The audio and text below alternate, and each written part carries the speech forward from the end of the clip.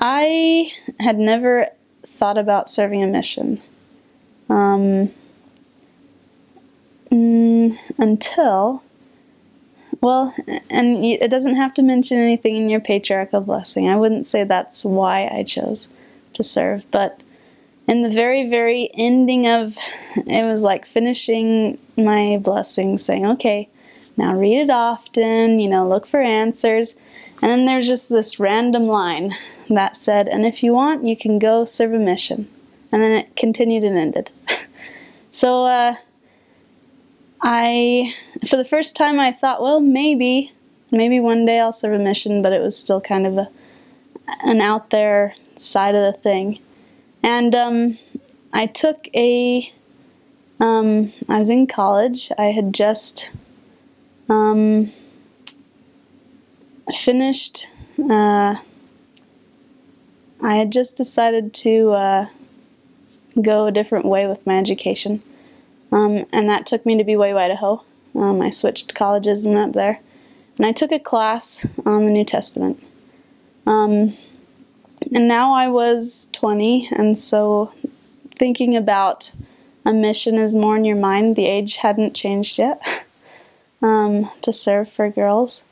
Um, and I, uh, in that New Testament class, uh, for the first time, I had a really strong reason why I should serve. Um, in that class, I uh, learned more about the Savior, obviously, and I realized how much He loved me. Um, and I realized that if God loves me that much, uh, there's people, everyone in the entire world, He loves them just as much as He loves me. Um, and I thought, you know, I want to serve a mission because I want to help all of those people make it back to live with Him just as much as He wants me to make it back. Um, and so then I uh, was very determined and made my decision that I was going to serve a mission. So I finished that semester. I went home. I was looking for a job. I couldn't find one. I had about a thousand dollars in the bank, and it was time for me to put my papers in. I went to my dad, and he said, uh, "Well, I." I was talking with him, and I was like, "Dad, I don't have money for this yet." And he said, "Well, you do everything you can. Put in your papers, and uh, whatever happens, happens. Well, you'll be able to go on a mission. Uh, so I put my papers in. Uh, I got my papers. Uh, I got my call on March 18th. I didn't do the traditional line by line thing. I opened it up and I screamed out Peru, and that was it. I knew where I was going, but I still only had a thousand bucks in the bank.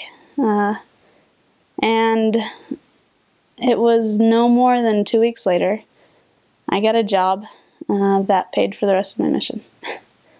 I had five months before I left. I didn't leave until August, uh, August 11th. I reported to the MTC, but uh, I just relied on the Lord.